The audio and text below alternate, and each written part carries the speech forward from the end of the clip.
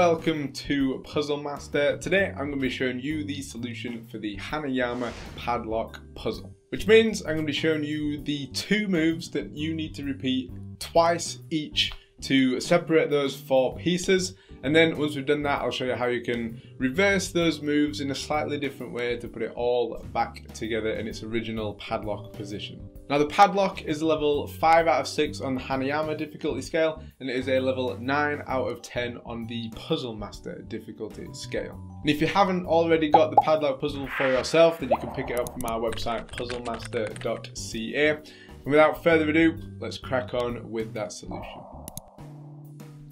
Okay, so here we have a fully assembled padlock puzzle. Now the fully assembled position should have, as we look at the side that has the engravings padlock and the keyhole, rather than the just the Hanayama engraving. So as we look at it, although it'll be the same on both sides, the front silver piece should have a gap in the left hand side of its piece and the back silver piece should have a gap on its right hand side as we look at it as it should be lined up in that original position. Now, the actual solving of this involves essentially maneuvering these two pieces around so that these two pieces end up in the right position so that we can separate all four pieces. And we do that by four different moves, or four moves that are actually two moves twice, but in slightly different positions. And what we're going to do to actually solve it, to make it easier for, to solve it, is we're going to flip the two middle pieces so that we have a vertical line or the, the line that splits them is vertical. It just makes it easier for us to move these two pieces up and down because that is a lot of the key to solving this, where these two pieces are relative to these two pieces. So the first move, we're going to take that vertical line and we're going to take the first, the front silver piece and we're going to line up that gap there with that vertical line. With the back silver piece, we're going to make it so it's exactly opposite that piece. Okay, so in this position here. Then we're going to tilt the puzzle sideways just so you can see this a little bit easier. And this is where we're going to play around with the heights. So the padlock engraving is always going to be on the right hand side. So if I say right hand side or padlock piece, it, it's the same thing. And the same thing with the keyhole piece and the left hand side piece. I'm just going to interchange or probably interchangeably refer to those pieces as those. So what we're going to do is the padlock piece is going to come towards us, the keyhole piece is going to go away from us, and when we're holding it tight in this position, we can come back to here and we can slide those two pieces apart into this position. Next, we're going to tilt or come back to this position to see this more clearly. Now we're going to swap heights or swap sides with these two pieces. So the piece on the right, the padlock engraving, is going to come from the bottom to the top. And the piece on the left, the keyhole engraving, is going to come from the bottom, uh, from the top to the bottom. Uh, no, from the bottom to the top. So we end up in this position here. We're then going to put, slide those pieces back together and you'll notice that the two gaps on the silver pieces have moved. They were on the outside and they're now on the inside. The next move, the front silver piece is going to stay still. We're going to move the back silver piece around to this position here. And again, it's a little bit easier to see in, from a side-on view. So we're going to go back to here. And you'll notice that all the gaps sort of line up in on this straight line in here. And what we're going to do is we're going to push the padlock piece on the right up or away from us. And we're going to pull the keyring piece towards us. And we can then come back to this position to then slide these pieces out to here. So we ended up here and we then need to swap around the heights again.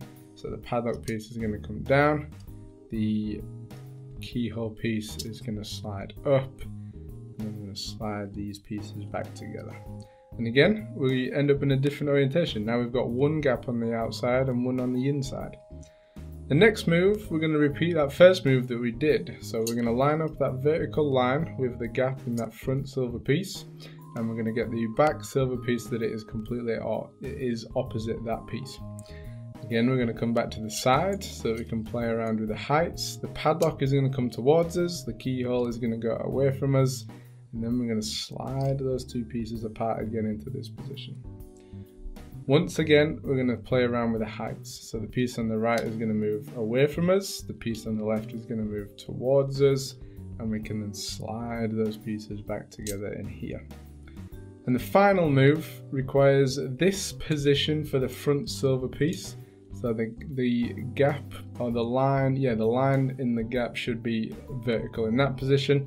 And the back piece, we're going to turn it so that its gap ends up in this in line with the back of the puzzle. Okay, so in that position with the back piece, this position with the front piece, and from there, the padlock side is going to go away from us, the keyhole side is going to come towards us, and we can then just slide two pieces or four pieces into two pieces, or one piece to two piece, and then two pieces into four separate solved padlock position puzzle. When you've got the padlock apart, you'll, you'll notice some slight differences between pieces.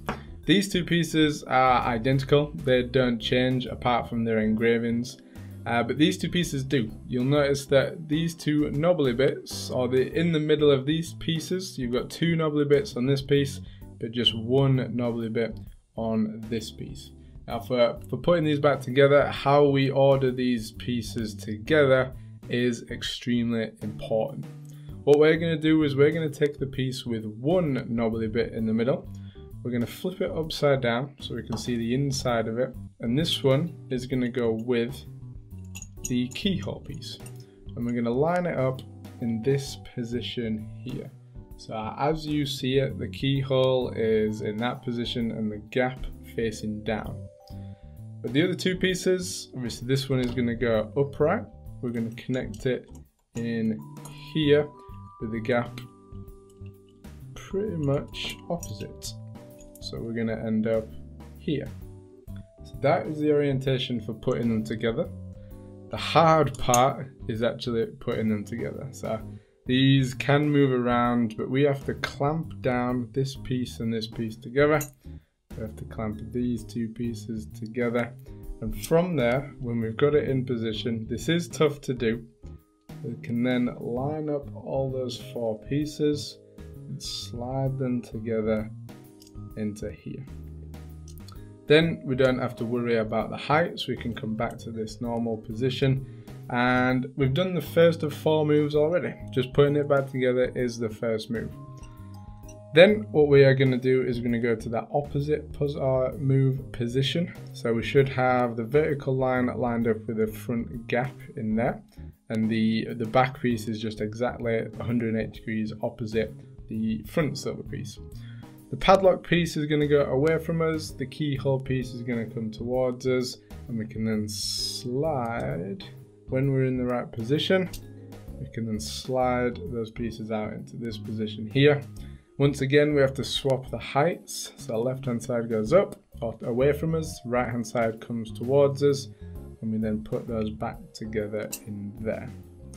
Next, the alignment for this is going to be different to what it was when we took it apart. We're going to line up both gaps in the same place. So we want to be in this position here. We're going to have the padlock piece coming towards us. We're going to have the keyhole piece going away from us. And we're going to slide the padlock up, slide the keyhole down so that we end up here. Once again, we're going to swap bottom to top. So the piece on the right goes to away from us. The piece on the left comes towards us. And we then slide those two pieces back together.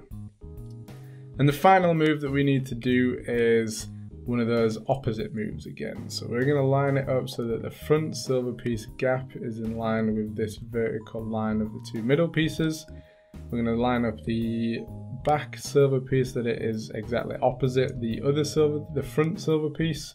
The padlock is going to go away from us. The keyhole uh, piece is going to come towards us. We're going to separate and we've got it lined up correctly. There we go. Once we've got it lined up, we can then separate those two pieces from here.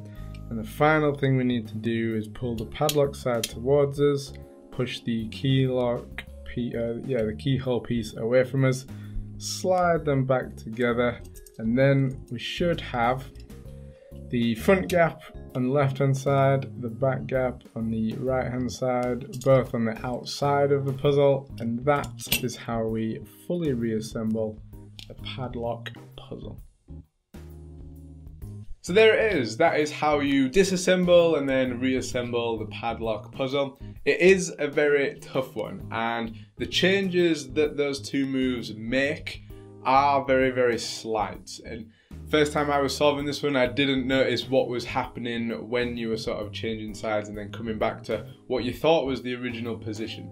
So being aware of, of where those two middle silver pieces are or where the gaps are on those silver pieces in relation to the two middle bits is important in tracking where you are on either disassembling it or reassembling it.